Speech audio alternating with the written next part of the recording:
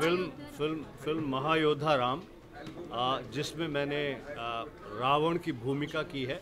इस फ़िल्म के सभी कैरेक्टर्स को बहुत ही इंटरेस्टिंग तरीके से प्रेजेंट किया।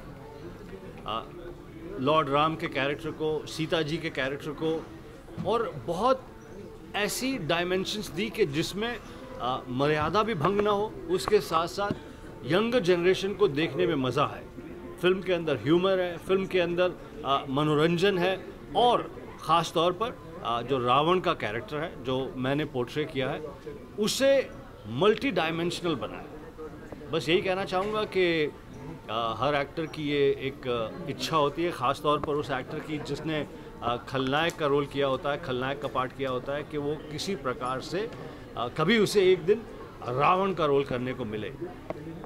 मेरे लिए ये खुशी की बात है कि इस फ़िल्म में मुझे इतना चैलेंजिंग इतना बढ़िया रोल करने के लिए मिला।